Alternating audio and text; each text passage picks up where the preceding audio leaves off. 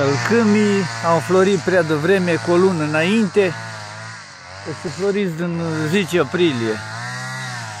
Și florile sunt uscate, nici nu s-au deschis așa de mult.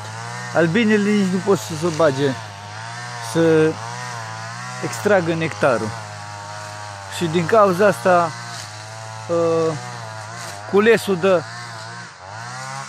culesul de salcâm la miere de salcâm o să fie compromis. Dacă nu mai plouă, acum parcă să anunță ploaie în data de 16, 16 aprilie 2024. Producția de, de salcâm va fi compromisă.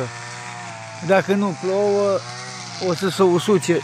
Uitați, sunt închise florile, nici nu sunt deschise albinele simt mirosul, să simte mirosul, dar degeaba, că albinii nu pot să vin să culeagă. Încep florile să se usuce. Uitați. Deci mierea de salcâm din România o să fie compromisă. Aici la noi în județul Timiș. Am florit cu o lună mai devreme. Salcâmii. Aici la mine acasă, ce să faci? În capătul grădinii.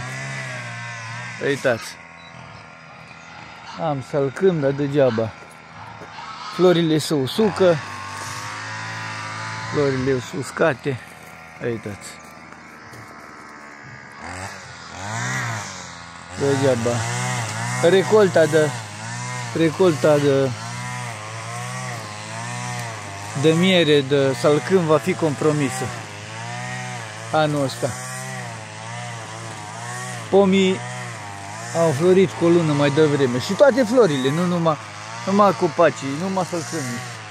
Toți au florit cu o lună mai devreme. Din cauza schimbărilor așa climatice, din cauza căldurii excesive. Nu a fost o iarnă ușoară, foarte ușoară, toate florile s-au deschis prea devreme. Și mai trebuie să, să dă. Oricum, la rapiță, rapița merge bine. Și rapița am florit prea devreme. Cu vreo două săptămâni și după ce am înflorit rapița, am înflorit și salcâmii. Recolta de miere, miere de salcâmii compromisă.